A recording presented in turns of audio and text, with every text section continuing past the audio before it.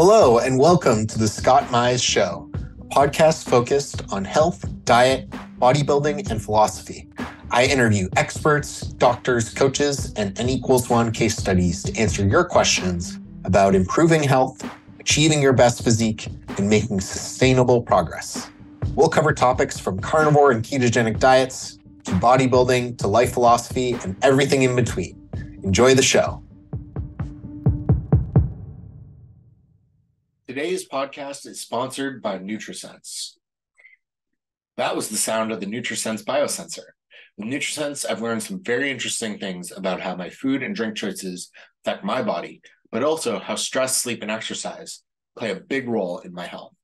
Your glucose levels can significantly impact how your body and mind feels and functions throughout the day.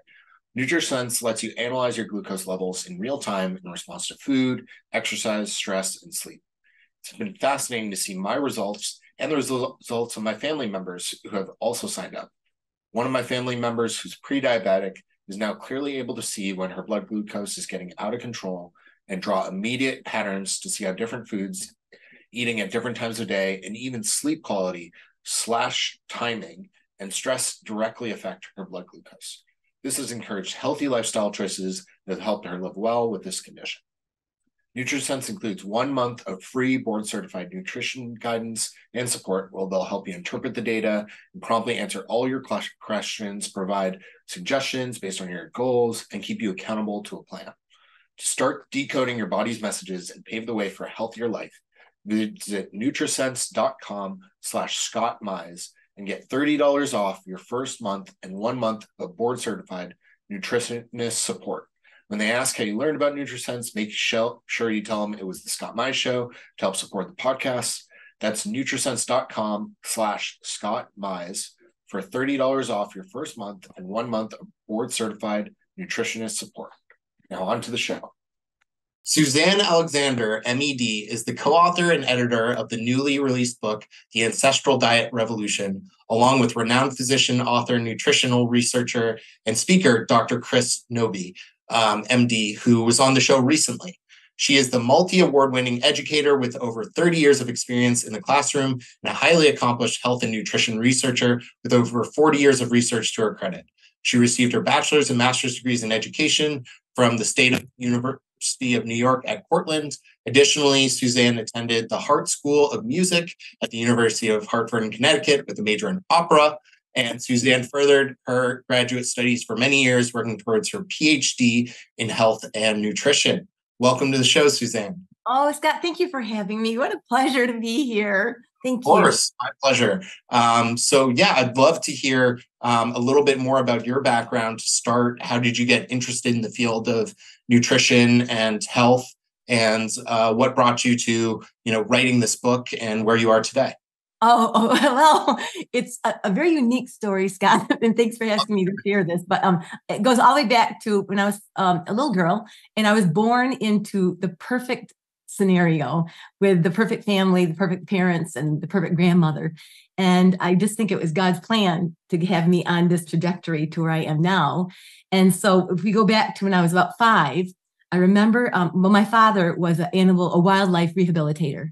And so um, people would bring us wild animals who had been injured, and then it was our job to rehabilitate them and put them back into the wild. But often, often, many of them were brand new babies that their moms had been killed on the side of the road. And so before their eyes had even opened, they were brought to us. Oh. And if you know anything about nature and in animals, the first parent or the first being that they see when they open their eyes, they believe is their mom. Yeah. And my father always made sure he was the first one because he was their main caretaker. And then the rest of us, there was six in our six children in our family. We're like the Brady Bunch, three boys and three girls. And I was number five out of the six. And um, so we became like their litter, you know, the, the, the pack, their pack. And but they were just my life. I, I marched to a different drummer and um, I, I just the animals were everything to me. I, I wanted to be one of them. I wanted to live like them. I wanted to survive like them. And I was born very sick, and I had a lot of um, conditions that we didn't know why. But my father was also very sick, and um, I don't. And to this day, I think I was 57 when I was finally diagnosed with um, celiac disease. But you're so you live for 57 years not knowing, and you're yeah. just in chronic pain and not understanding what's going on. And even though I've, I've been a researcher since I was five, um, I, I, I couldn't put my finger on that's what it truly was because there was just so many different different symptoms I had going on. So I have multiple things um, in my genetics that my father also had. But anyway, so but then on top of that, my grandmother she lived with tribes in Africa for three years, and so wow. she was she lived right with them. Um, she was in Liberia for two years and Kenya for one year. And whenever she would come home on vacation to, to visit the family, I would just sit at her feet and she would have these slides that she had taken. And it was magnificent. And I would ask her to just tell what kind of food did they eat? You know, how did they, were they sick? Were the children sick like me? And she would say, no, they're just so, they're so healthy. And, and she'd talk about their food that was all from the earth you know it was the meat that they would that they would hunt and it was the, the the tubers and the things that they would dig up and they would eat. And she would share the kind of food that they would eat and, and she just loved and she didn't want to leave them. And i couldn't understand what, what about us? You know what about your family? But i was just so in awe because my grandmother was the same age that i am now. So she was in her 60s and um, she had was, was a retired teacher and educator like i am.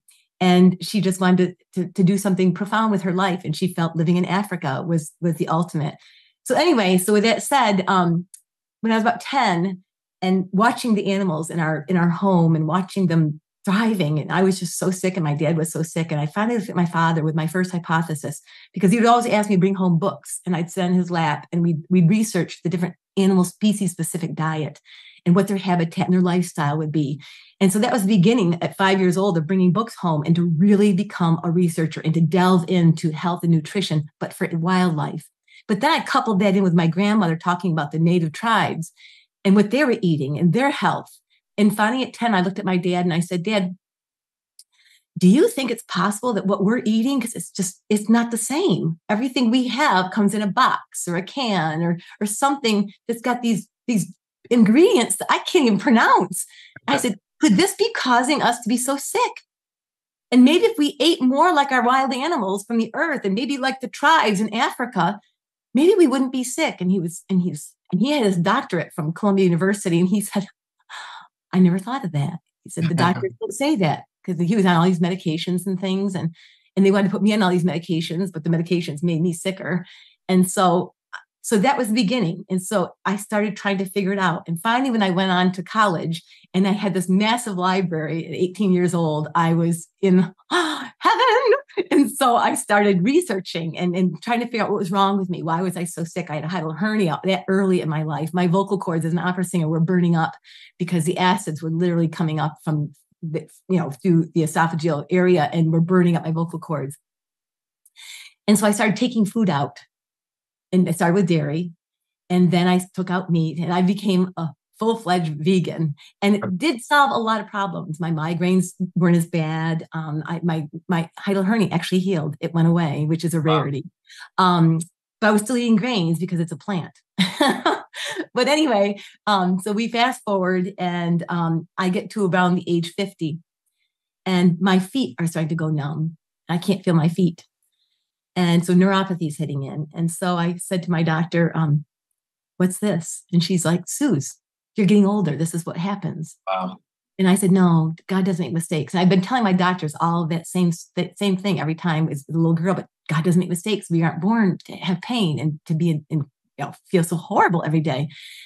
And so I didn't I just I, I, couldn't that that was working. I was beginning to work on my doctorate at that point. So I said, I need you to run a battery of tests on me. And I said, and the most important one I really need you to look at is copper.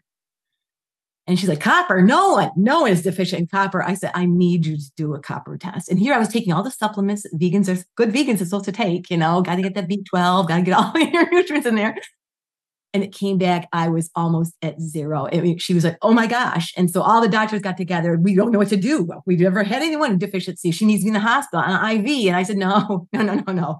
I'm going to take care of this. So i started questioning is veganism correct? Mm. am i doing more damage than than good to my body? So i had my first colonoscopy at 50, which you're supposed to do, a good person does that, thinking it's going to be pristine. I'm eating the perfect diet my gastroenterologist comes out and he says, I said, how was it? And he said, I can't tell you. I can't see anything. I said, you, so it's clean. He goes, no, your entire colon is embedded with nuts and seeds. Mm. Wow. And I'm like, wait, they're power foods. Everyone knows that. He said, whoever told you that humans can eat and digest seeds? Get wow. them on diet. So I'm thinking, this is a gastroenterologist. He must see this all the time, you know? So then I'm really questioning, what am I doing? But anyway, I, I, I keep thinking, no, no, I'm, I'm studying and everything is saying plant based, plant based, plant based. So I get to 57 years old. And at this point, I'm now raw. I was vegan, but now I'm a raw vegan. Everything is just eating everything, nothing's being cooked. Wow. And my doctor calls me after some lab work I had done. And she said, Suze, you're dying. And I said, Excuse me? And she says, You literally have hardly no white blood cells, your blood your red blood cells, your platelets. You are plummeting out. We think you have a rare cancer.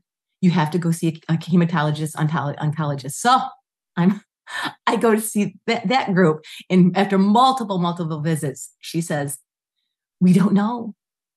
We think you have a rare bone marrow cancer. Or, and at that point, I had put, when I was 50, 40, 48, I had put, I was, I had allowed my former husband um, mental, uh, emotional tor- torture about how I looked.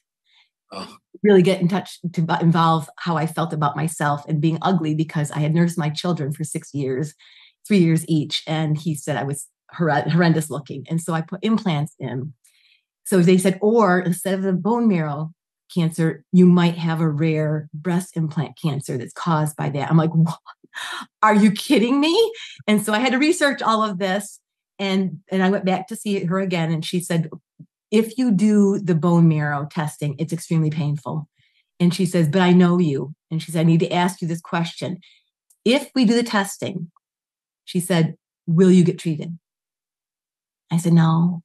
Mm. I said, I'll, I'll treat myself naturally and I will heal. And she said, So then why put you through that testing? And she said, But we really believe that's what you have because nothing else makes sense why you have your blood cells, everything stopped product, producing. And I said, Well, how long would I have to live? And she said, Without treatment, 15 years. And I said, Well, I said, then you you can agree to go with that. And I'll just agree to say I don't have cancer. And I'll go be on my way. And so that's what I did. So then I went and had my breast implants removed. And that was huge because when they got in there, uh, my body had had a, a severe allergic reaction. I had saline implants, but the outside was silicone and I'm extremely like everything else in my life. I'm extremely allergic to silicone. So when she opened up my chest, there would had my body had literally because um the longer you have implants in, and they were in for ten years, they start the um the silicone starts flaking off into your body from the heat temperature of your body, and then your body, if you're allergic to it, starts trying to fight it off, and it oh. causes an entire web of almost like a cancerous web. They had grown all underneath my armpits, through my chest, everywhere. It was, and so she had to go in and scrape it all out and get everything out of there because I couldn't breathe. And as an opera singer, you have to have breath support. And I kept wondering, why can't I breathe anymore? And she said, that's why everything was just closing in. Wow. So anyway, I almost died after that surgery because as she was scraping everything, and because I was so highly anemic and had no blood cell, hardly anything to, to, to save myself, I had lost about 60% of my blood and was literally dying on the table. So they had to go back in, cauterize everything. They wanted to do a, a, transfusion, a blood transfusion. And I said, no, God will heal me. I want everything done naturally. I don't want any heroics. If I'm meant to live and God's got a plan for me, I'll continue. Well, I survived that, of course. And um, so then I met, I did more research. I realized, and, and my doctor, she was a, uh, she called herself a quasi um, vegan. And she said, um, she said, um, Suze, you cannot be a vegan she says, I think you have celiac disease. Wow. And she says, everything that I see on your, your charts are telling me you have celiac disease. And she said, on top of that, you cannot be a vegan or you will die. And I said, but you're a vegan. She says, no, I eat one piece of piece of fish every week. And she says, no one could be vegan. And she was brilliant, brilliant surgeon. Uh-huh. And so at that point, I went home and I said to my family, I have to start eating meat. And so one of my friends is a hunter and he brought home, he brought me some fresh venison, a deer. And I had my first meat in like 25, 30 years. And it was profound. Oh, Scott, it was just like every cell is just like, oh my golly, it just comes to life. And it was yeah. just so overwhelming. And I realized I had made a huge mistake by removing meat from my diet. So then I met Sally um, Norton, and um, she took me under her wing and held my hand for a very long, long, long time so that we could get all of the oxalates and toxins from the plants out of my body because it had been decades and decades. And our philosophy was is it possible that the oxalates had, had begun to replace the bone marrow in my bones? Which some studies indicate that's possibly happening to many of us who are eating so many plants that it's, it's just not natural to eat that many plants. And so um, slowly we we took eight months to get plants completely out of my body. And as we went through it, we, we don't have oxalate dumping, but I was getting styes coming out of my eyes. The, the, the, oxalates were pouring out of my eyes. I was getting bone spurs growing out of my body. It was horrendous. But she held my hand and she was just brilliant. And she hung in there because I'd have days, I just can't give up plants. I can't, you got to do it. You're going to die. We've got to get, so we finally got, and then at the end, and then I partnered also then with Paul Saladino. Mm. And he took me to become full carnivore. And um, that was profound. I mean, because we could see that my white blood cells, my red blood cells, my platelets were starting to come back to life the more meat I ate. And of course, the more plants I had, I was no longer eating plants. So then my body could get release all the, the oxalates and other toxins there. And so then, after about three months on carnivore, my feet and my leg cramps were just out of control. And even though I was doing all the electrolytes, everyone says, it was just not it wasn't working for me. And I said to Paul, I said, I don't know. I said, the more I research this and the more I, I know I've researched tribes my entire life, I said, there, there really isn't anyone who really is a true carnivore. Even the Maasai, who I will be living with in about two weeks, by the way, um, they do have plants at times. Even when the Maasai warriors are out in the in marching and they're and they're out into the woods, there are times where they ha- don't have food and they will eat bark. They mm. will have plants. They will have certain things that they have to rely on. The medicinal purposes, they have plants. The, the Eskimos, who I will be living with soon, also eat plants at times. And we've been kind of led to believe all these things, which my mission is to show that we do need a little bit of everything. Just not, we don't, we need to have balance. There needs to be balance. Um, but I'll be able to report all of this. And um, I'm hoping today when we could talk about um, now that we're to current day, me at 62 and I'm thriving, I'm just thriving. I've never felt so healthy in my life. I'm not full carnivore and I'm not full vegan. I'm I'm in the, I'm mostly animal based. I will say most of my my foods I eat are animal and I love that. But I do have a few bit of bits of fruit that I do add for my electrolytes, my minerals that I truly believe that I need. I can't get through through animals. And with that said, now we just came back from the the Pacific Islands, and we were at, we were we were with about six to seven islands, and we were different cultures, different tribes, and we were able to see what they are eating there. And we wrote about this in our book uh, about the Papua New Guineans and, and the Tukisentas and things. And um, so we can talk about that, but I'll, I'll stop rambling. I know, Scott, you're probably like, okay, I got to get a word in edgewise. Oh, that's amazing. No, you're excellent. I, I didn't want to interrupt because such an interesting story and amazing the resilience and fortitude you had through all of it, um, and the willingness to um, hold strong to to what you believed and what you had learned, but also come to new realizations and change your mind, which I think is the hallmark of a true scientist. Thank you. And it's so so true. And I say this to Chris all the time, Dr. Knobbe. I always say to him, um, that if we get dogmatic and we have blinders on, and we are so rigid in our thinking, or we're making money off of what we believe, and we don't want to change our opinion, that's that's not science, and that's not that's not being honest and truth. And we we need to be um, we have to have the flexibility to understand that no one knows, only God knows the truth. Mm-hmm. And but we're we're seekers of the truth, and we should always be on that mission and to be transparent at all times. And I've always told my followers when I was vegan, um, I had a lot of people that were following me all over the world at that time. But I kept saying, I, I don't know. I'm I'm my own guinea pig. I'm just going to share with you. I will always be honest with you. If something isn't working, if my health is failing, I will always tell you exactly what I'm feeling when I'm when I'm trying new things and um, and I really feel that. I mean, right now, I I totally believe that seed oils are so toxic, and mm. when we've studied so many uh, cultures and, and tribes and, and and populations all over the world, it's the one thing that none of them, that those who really are thriving without disease, That's the one thing that they don't have in their diet is seed oils yeah. and processed food. And um, and I think that that's the key. And we it really came to fruition when we were in the Pacific Islands, seeing those people who don't have seed oils, and then the, those who used to live ancestrally, and then they've now got maybe 10 to 20, 20 25% of processed food now in their diet, along with their um, ancestral diet, they're crumbling just a little bit of our processed food is is just wreaking havoc on their health. And that was huge. That was huge to see scott. That was that was immense. Um yeah.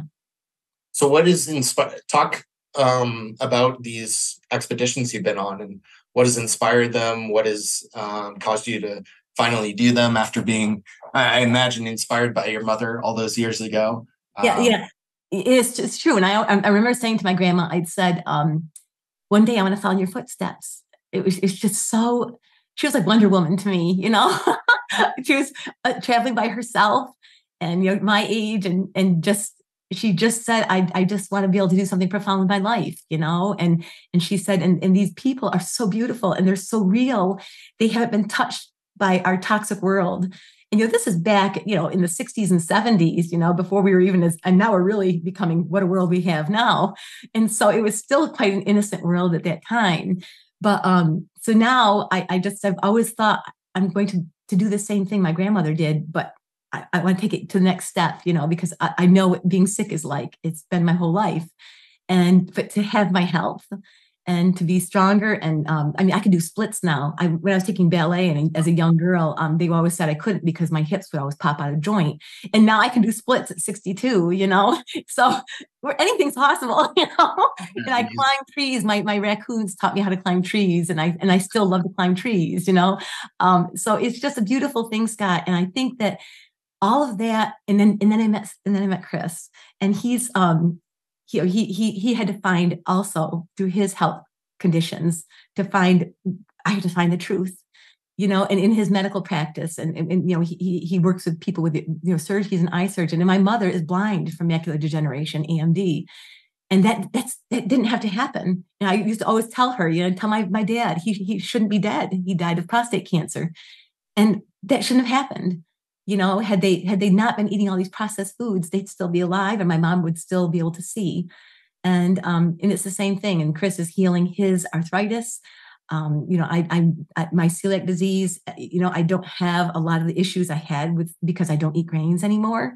Um and so we can heal so many things with it's it, you know it's like hippocrates said let food be thy medicine and medicine is thy food you know? And i just think um what we're doing now we've always chris and i when we first met and, and we kind of joined together as a team because we had the same philosophies and the same vision and mission um, to go to live with these tribes that we, we read about.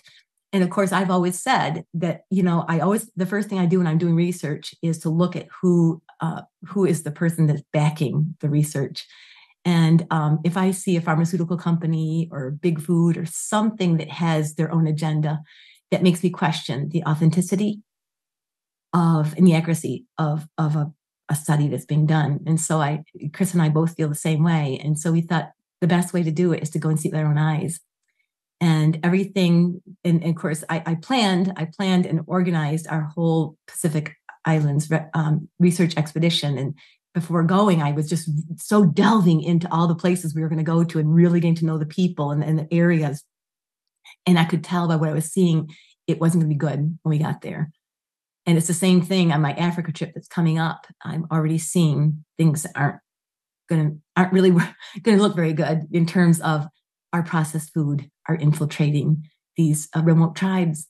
And um, so we can talk more about that and um, as we go along, Scott. Yeah, yeah. And I I know you have a presentation, um, so I'd love love for you to share that up. Um, okay we can talk through some of that. And for folks listening to the audio, um, if you get a chance, check out on YouTube the video version um, because uh, Suzanne has some awesome slides she's going to share with us. Hey, Scott, can you see that? Yep. Okay. All right. So this is where we, we, we started. Okay. And so we had these islands over here where the, the, the islands are numbered. So you can see Jayapura is the first island we stopped to. Now the other ones are these are all of our ports we had to keep flying to because in order to get to all of these remote islands, it takes forever. to get yeah. there and just finding the, the flights to get there was a huge thing so um yeah. so what we did is we first went to jayapura and this, this is in papua new guinea or or we were in west papua and it's in indonesia and so we first flew to Jayapura, and um, this is um, it's it's remote, but it's they consider it kind of like the city area. And even though it doesn't it doesn't have the high rises like when you think of New York City, but um, it's it was more populated. And so we went there, and you'll see. Um, I'll show you some of the different stores and things we went in, and then we went to Wamena. Now Wamena is where the one of my favorite tribes, and it's called the Dani tribe, D A N I and they're a remote tribe that live way up in the highland region and mm-hmm. very similar to what we, we studied when we were doing the Tukisenta in, in, in Papua New Guinea. And so they mostly live on sweet potatoes. And that was amazing to actually see. Do they really live on sweet potatoes? But they yeah. all they also every once in a while, maybe once or twice a month, they might have a bit of pork. And we'll talk more about that as we get we go through the slides. Um, and then from w- Wamena, we flew to Honiara, which is the Solomon Islands, and and so we we spent time there looking at um, you know the stores and meeting people who are eating ancestrally. Mostly, I can only say mostly there because they were being infiltrated. And then from Honiara, we flew over to Samoa, and in Samoa, uh, we were shocked at what we saw there, and we'll talk about that as we get to do the slides. And then from Samoa, we flew to Vanuatu, which was magnificent. This would this would I would consider for us to be the healthy island of the Pacific Islands. Um, and I'll, I'll, discuss that when we when we see what they're consuming there and what we found in their stores and so forth. Then we were supposed to fly to one of my favorite spots, which would have been Tanna, and that's right here number six but our flight was canceled and we couldn't get there. And it was it was canceled for the entire week. And so we were so i was trying to figure out a way to go to get there somehow because they have a, a very remote tribe there that we were going to spend time with. So i i wasn't but one day i will go back there. And then from vanuatu then we ended up going to fiji. And everyone thinks well that's just a touristy area. Well there's actually a, a small um, settlement that we'll talk about when we get there that's was one of the first settlements, and you'll see what's happened there tragically as well. So let's continue on as we go through the slide.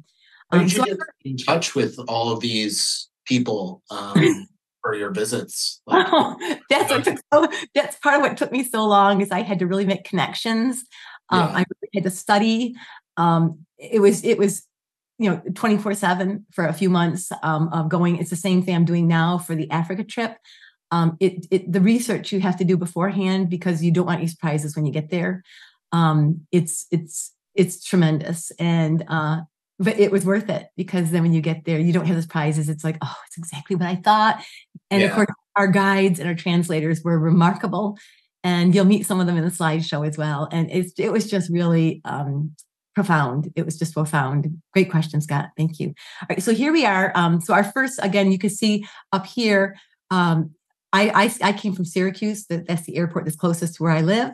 And so I flew from Syracuse, then to Atlanta, and then to LAX. Chris was already down in Melbourne. He was at the low carb down under conference there. Mm. And so we thought that would help to save some money because he was already there to do it at that time because the cost of flying is just so, so huge. So then from LAX, I flew down to Melbourne. I met him there. Then we flew to, in order to get to Jayapura, number one, flew from Melbourne to Bali and then from Bali to Makassar, and then from Makassar to Jayapura. Wow. Okay. And it was exhausting, just the flying and waiting and sitting around, but it was so, again, so worth it. So in Jayapura, here's our first stop, Jayapura. Here we go. So here we are landing, and look at the, the landscape. It's just so lush and green. It's just so beautiful. And so this is what their mall looks like. So this is kind of like a city. Okay, this is like probably the biggest building in their in their in their village city area. They most people get around on motorcycles. Motorcycles were everywhere, just zooming past us. It was just kind of scary because they did they just are everywhere. You have to watch out for them. They won't watch out for you. So we went into this mall, and in there they have a hypermart. So it's kind of like what we would have maybe like a Walmart or just a, a it's got a little bit of everything in the groceries as well. So we went into there, and lo and behold, we find our first wall of oils, our seed oils. Wow. And I was like, oh, golly. and so I, I put out there, I put a video of Chris. Um, uh, so if you people, if you want to go on to um, Ancestral um, Health Foundation, either on Facebook or, or um, on Instagram or Twitter, we I have these videos all posted. You can go and watch them, and Chris will be telling about what we're finding in these. And this is um, part of what we saw. And amazingly enough, the most popular bestseller in Papua is palm oil. Now, mm. palm oil of all the oils, I mean, it, it's not a bad oil. It's about a 10, about 10 linoleic acid, a percent linoleic acid compared to others that, you know, sunflower, safflower, they're like in the 70s. Okay. Um, uh, soybean is like 55, uh, uh, linoleic acid content, huge. This isn't bad. However, however, it's still, if it's in everything, and, and and of course the size of the packages that we're seeing people are buying i i i couldn't believe i mean these these and, and the people are buying them like crazy and that adds up it really adds up and remember it doesn't have the vital fat soluble vitamins of a d and k2 and mm-hmm. as Weston Price found in his research, we need those. And that's why the healthy cultures who live so so long and so thriving without disease, because they have those. And we only get those from animal animal fats. And so this, uh, you know, everyone's saying when they see this, well, then we can have that. This is good. No, it's still, it's still quite high. I mean, 10, 10% linoleic acid is high compared to animal fats being at 2%. Mm. You know, coconut oil is 2%. Yeah. Coconut oil can be great. However, you're going to see as we go on in, in this, it's not what we thought. Um, we, had a surprise, which it's I, I, still found that in my um, my research it was going to happen, and it did occur. But with that said, um, but but coconut oil doesn't have the fat soluble vitamins A, D, and K two, and so it has some other great things in it. But we need those, and that's what we need to always focus on. That we're missing those in our diet if we're only using these oils as our fats. So it's right. really important, really important. Next, we also found that they had things like we have Okay. And if you notice the ingredients, corn chips, they have, and of course, palm oil. But interestingly enough, in Jayapura, a lot of their processed food had palm oil rather than when you look at chips in our area, the, the same thing, they won't have palm oil. We'll have canola oil. We will we'll have the higher linoleic acid in America compared to what they were having, what we found in Jayapura. So we thought that was that something. It was better. At least their processed food in Jayapura wasn't as toxic as ours. It's toxic, but not as toxic. Yeah. Then we found the Pringles can. And of course, again, their Pringles can, they've got the oil that they use in Pringles is palm oil. Mm. So what we have in America, ours, our vegetable oil is, if you look here carefully, it's got it's got corn oil. It's got uh, soybean oil. Look at the sunflower oil. Look at the different oils we have in our Pringles compared to what's sold in Jayapura. Yeah. Quite interesting. Quite interesting. So we thought, hmm, if only we could at least at least get ours down to palm oil and get rid of all these other high linoleic acid uh, omega 6 oils. so what we found the most prevalent seed oil in Jayapura was palm oil. And which which wasn't bad. We, we were pleasantly surprised that at least that's the most prevalent oil. They didn't have a lot of soybean, they didn't have a lot of canola, they didn't have rapeseed, all these really high, high level linoleic acid uh, toxic oils. Now we go to Wamena, and this is where the Dani tribe lives, and they're way up high. So we had to travel way, way, way up high into the mountains uh, of West Papua, Indonesia, to stay with the in this tribe. And here we are getting off the plane. It was a small plane that got us up there. And then we go, our, our guide, Rami, he took us to our first market that we could see. And, and most of these people who are selling are from the Dani tribe. They, hmm. uh, uh, the younger people now, they don't dress as ancestrally, which you'll see soon coming up. They don't dress as ancestrally as their their their cohorts that are really living ancestrally, but they're bringing all of their their their goods, their crops, their produce, and so we got to see what their what kind of food that they're selling. This was uh, this is Rami, our guide, and he was our translator as well. And he's eating betel nuts. I don't know if you've ever heard of them, but um, it's you'll notice a lot of them is their teeth are red, and they chew on this and they believe that it's actually helping their teeth.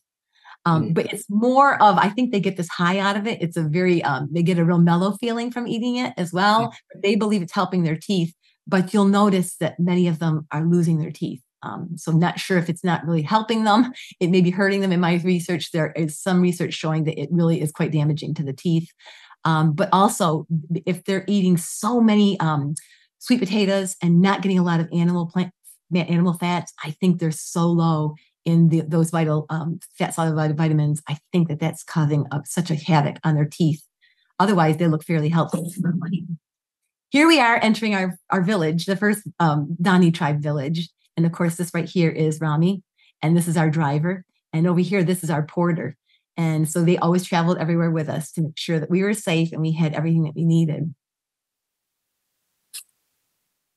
So here we are with the tribe. And yes, I'm, I'm trying to, to be appropriate by covering them. They don't wear, they're scantily clad, as we would say. and um, it was wonderful. They were very welcoming, a little shy at times, um, but willing to, you know, through translation, answer our questions. Um, you can see that they live in these little huts. Um, mm. this is right here where I'm sh- circling right here with my cursor. That's the men's hut. The men only live together, and then the women's have they have a, a couple more because there's more women than men. And they the men it's um they don't they they can have as many wives as they want, but again, like you'll see in many of the cultures, they buy their their wives according to how many pigs they have. Mm. And that's kind of their currency.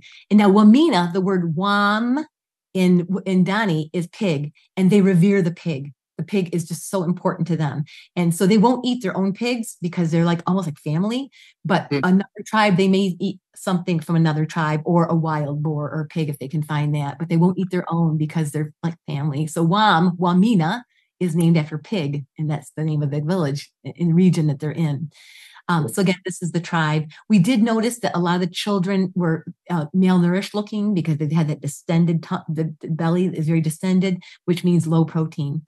And so, um, again, if you're just living mostly on plants and, and mostly sweet potatoes, they're in need of more meat. Yeah. Over here, you'll notice right here, this is this, um, a mummy of a 350 year old chief that was that was there a long time ago. And the chief that we met at the time is is his relative. They all they're all the the, the Mabel uh, family and that's the, that was the chief at the time. So that was amazing to see that mummy as well oh. again you here's the looking down it's like looking down the street of the, the village. Here we are. And again over here these are the uh, huts where the women would live.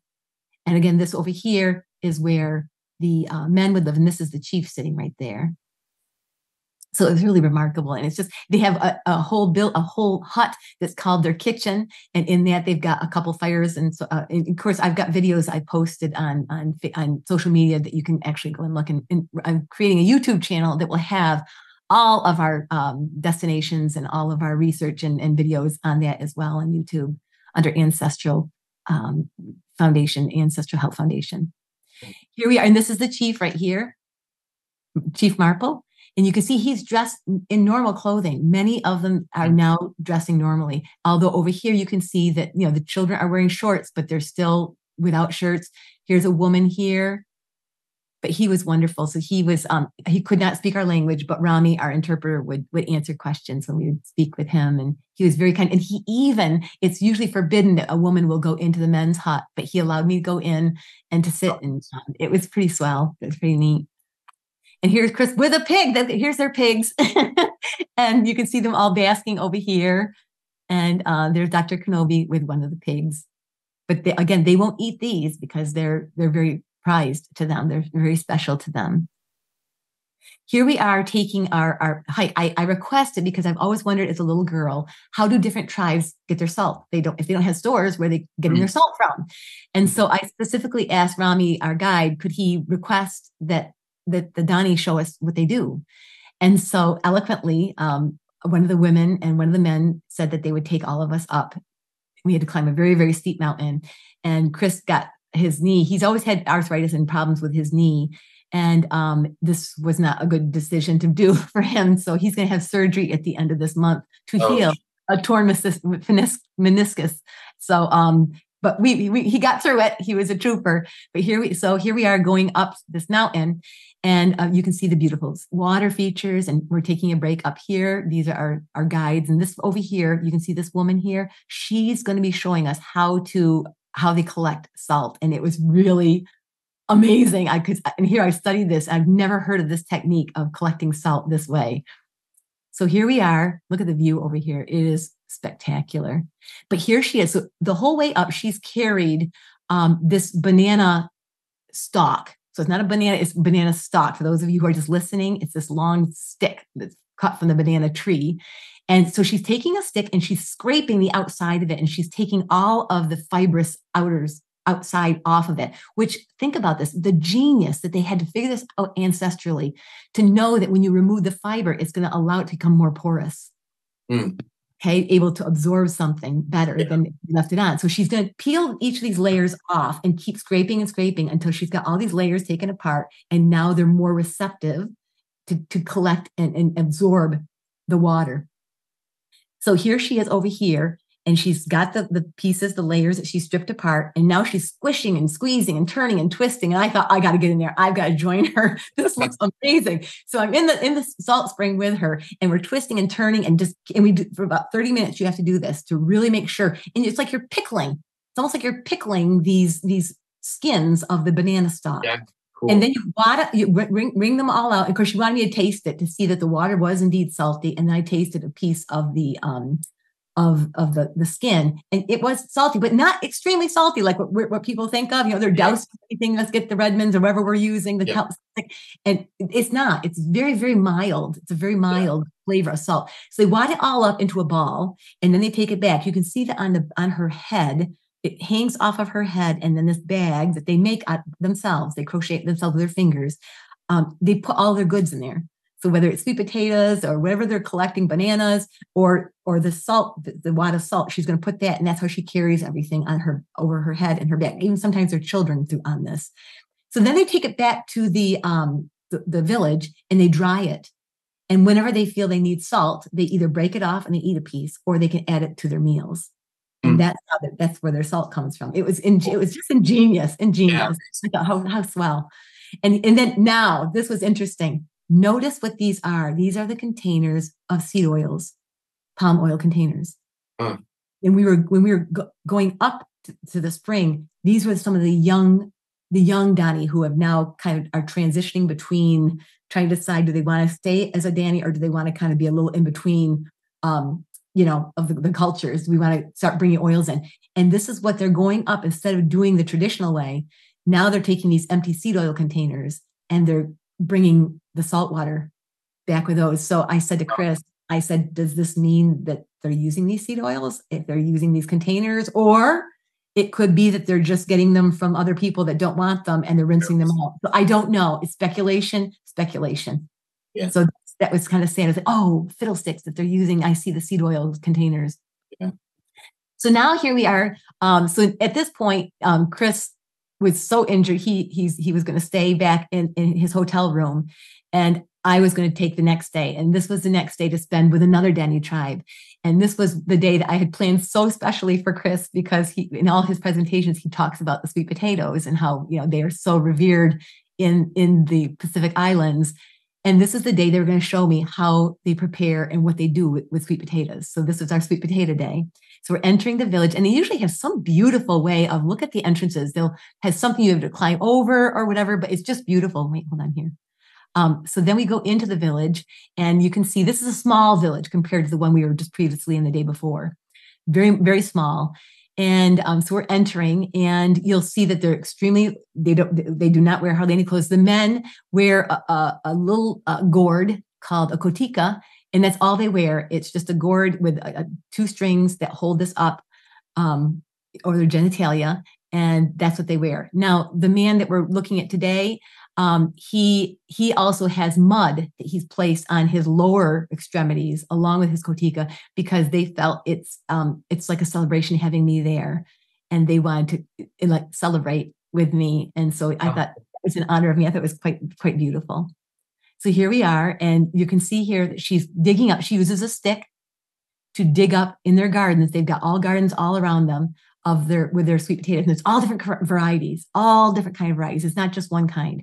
And so she's digging them up here. And then they go down near their area and they start to wash the sweet potatoes. And it looks like a mud puddle but it's like a spring another spring that they're using to wash their their um with the potatoes and um and anything else that we were going to be consuming that day. And here we are. Now we bring so we bring all the potatoes back and then we go down way down into the valley. Look at that isn't that view? It was just breathtaking. There's no no one no people no civilization as far as the eye can see. We are so remote. And then they go down and what they're doing for for a long long time and, of course i don't know what what's going on. This is all new to me. They're picking and all of these either green vegetation or old weeds and sticks and twigs and they're they're picking and picking and picking and bringing them all back which you'll see. And they're, they're carrying I mean, look at what the women are carrying on their heads wow so these are the things that they're going to use to make the fire and the earthen pit which is this is how they cook and this is what they have to do the, the, the lengths they have to go through to cook their food yeah and so we wonder why why they, there's no obesity and and that they're very healthy they have to move all the time yeah and it's, it's just beautiful a woman in the middle has like a full bonfire on her head. Yes, I mean, isn't it remarkable? Look at the look at that. that so these are the, the twigs and all the things that they're going to be using for the for this cooking of just the potatoes, the sweet potatoes.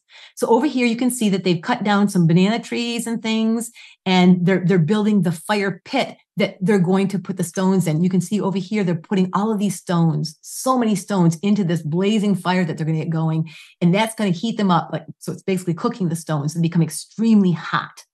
Mm. Then, while that while the stones are cooking, we went out and they wanted to pick this fruit. is called a red fruit, and um, it's it's I've never had it before. Um, you can notice over here. I went to to move that out of the way, and I didn't realize there was it's almost like a razor sharp, like a saw, and I almost cut through my hand. I was like, "Oh, golly, look at this!" And so he wanted to have this special um, fruit for me, and so they they brought it back and uh, of course, this is called they called they call this fruit called it's called the pandan fruit. Many of you may have heard of it, but it's it's the they call it buah merah there in West Papua. And of course, buah means fruit and merah means red, which is red fruit. Hmm. Here we are. I thought this was a beautiful picture. Here's one of the women. She's slowly she's blowing to get the spark they, that they ignited the fire to get going here. And you can see the twigs that she had carried on her head are all being used. So they get the fire going, and now they're adding more of the of the the different dried uh, vegetation, the grasses and things to to get that fire and keep it going. Um, and then over here, I'm over here helping them. There's another pit, and in this pit, this is going to be they call it the earthen oven, and this is where they're going to be preparing all the green foliage, all the green leaves are going to be helped to steam when they put the rocks in there, the rocks will help along with the with the, which you'll see with the potatoes, and it literally doesn't really cook, but they're steaming because of all this water that's in the vegetation. It's, it's genius, absolute genius. Over here, you can see that um, Ananias, that was his name, he's c- cutting out all the insides. I thought we'd be eating the inside of the red fruit, but it's not. We don't eat the inside; it's the outside, and it's not even. You'll see. It's it's quite interesting. The whole the whole thing. Here you can see where she's carrying. Look at how they're using the tool, the tong. They've taken sticks and split the stick down, so they they've made themselves uh, like a little grabber tool. And this is how they're carrying over the extremely scorching hot rocks, and they're yeah.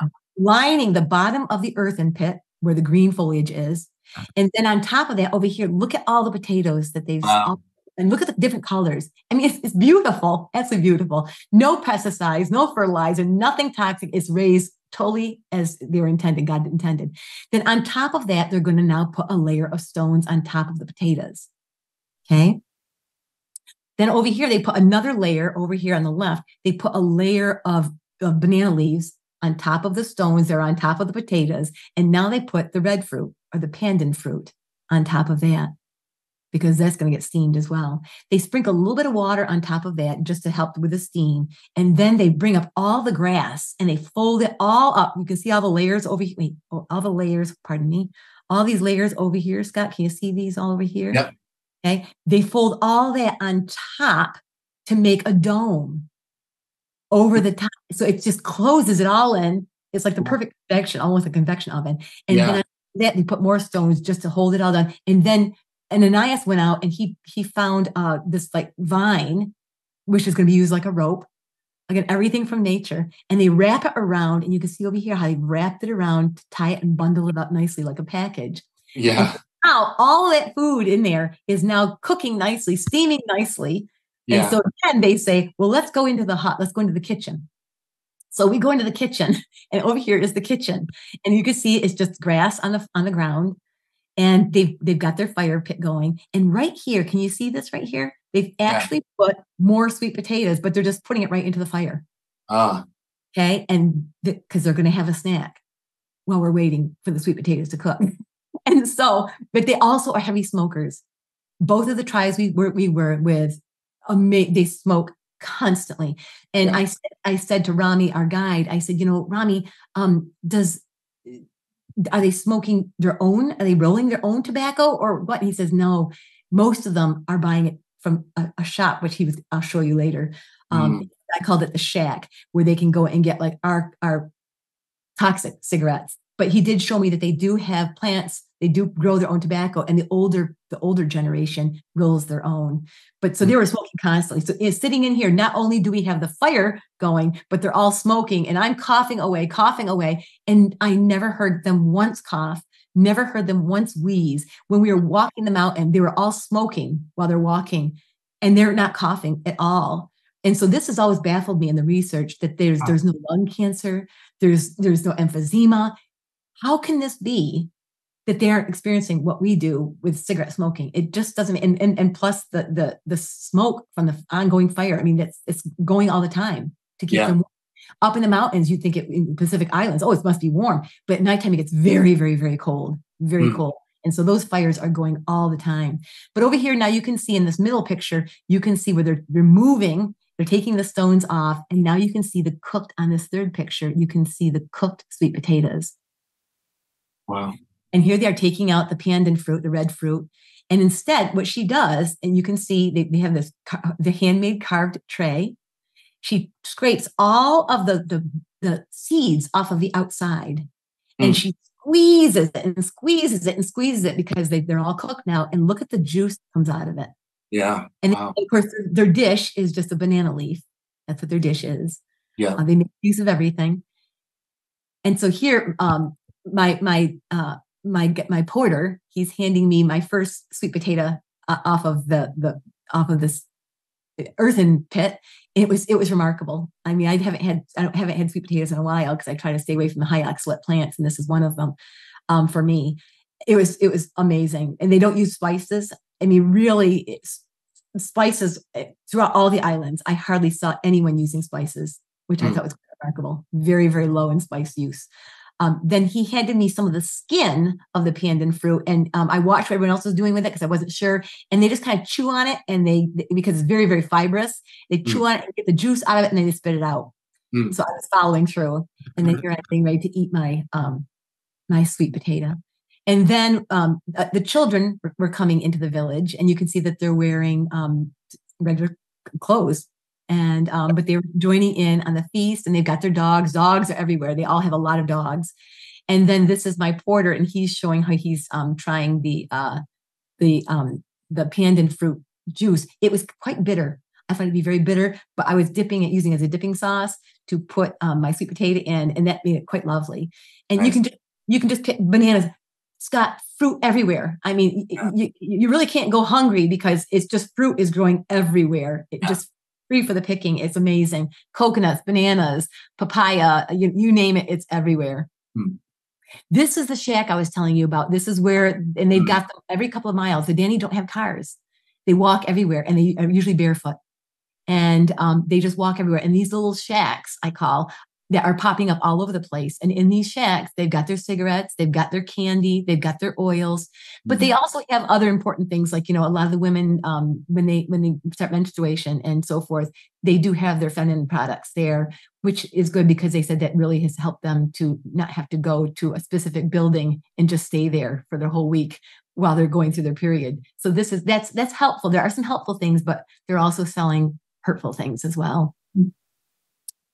So we, in, in, so again, in Wamena, before heading home to the highlands, we did find that palm oil was also a very prevalent oil used in their stores. As you can see, when we went up the mountain, that the, the young the young Dani people were carrying things in the the, the palm oil uh, containers as well. So, um, but again, we note again, cigarettes, candy, processed food are brought into the village by tourists as well, and it's just heart heart aching to see, just heart wrenching.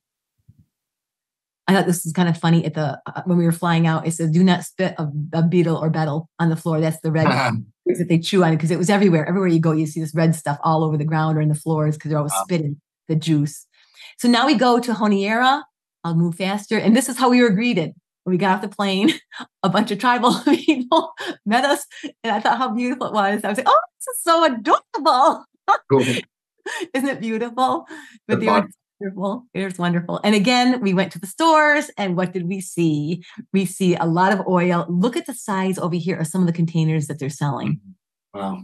Remarkable. And again, Chris has videos on all of these as well.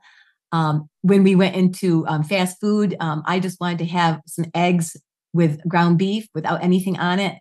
And they just must not have understood it because there was just a lot of stuff on mine and I didn't feel well at all afterwards. And um, there was a lot of issues for me um, when we traveled because I'm so sensitive to food.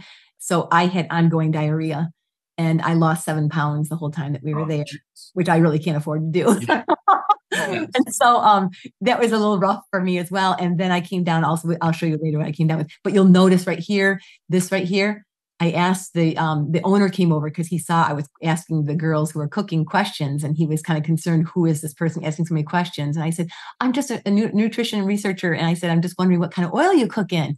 And he felt that that was a compliment because they think oils are really healthy, and so he showed me, and this is soybean oil that they're uh-huh. cooking. And I was like, oh, fiddlesticks, this is not good. So then, of course, we go on and we see their enormous uh, market that they have there, all fresh produce. Again, no glyphosate, no pesticides, nothing being used. We go to another market again, and we see that they're using oils. But again, this is mostly, um, we're seeing a lot of palm oil, but we were starting to see a little more of the canola oils coming in, some soybean oil. Uh, the tinned fish as well. Um, Chris doesn't really eat a lot of tinned fish. I I do sardines and things, and so I'm always very aware of that. And so I, I said to him, we need to look at the tinned fish, and we started realizing that um, certain um, areas, certain islands had unbelievable amount of tinned fish with soybean oil hmm. laden. Mm. And for anyone watching, if you're eat, buying tinned fish, um, please look for packed in water, spring water, or uh, like usually salmon is packed in nothing. If it's mm. done correctly, it doesn't need anything. Yeah. Please, nothing with oils because it's just another toxin you're putting in your body. Just eat the, the fish.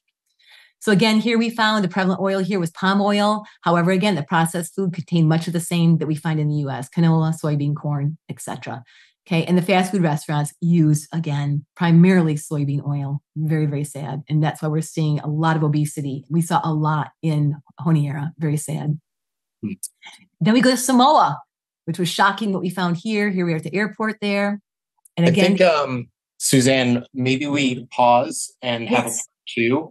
Yeah, absolutely. Uh, I have I have a conflict coming up. I, oh my goodness, no worries um, this is fascinating, and I definitely want to get through all of the tribes. But oh, thank you. Yeah, can can we do a part two? And oh, and, absolutely, Scott. Anytime. I'm always available. Well, I'll be available until I leave. okay, fantastic. Thank you for listening to the show. You can find the Scott Mys Show on Instagram, YouTube, Facebook, and Twitter. Please leave a comment, like, review, or share the podcast with your friends or followers. It helps more people find the show.